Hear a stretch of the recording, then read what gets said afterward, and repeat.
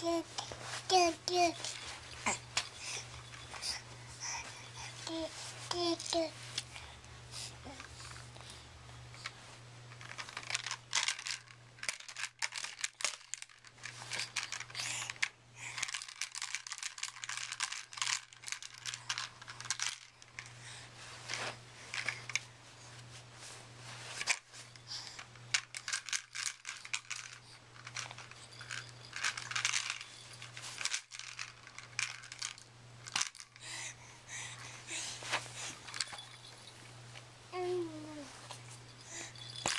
You know, I bet my mom would love a Skype session.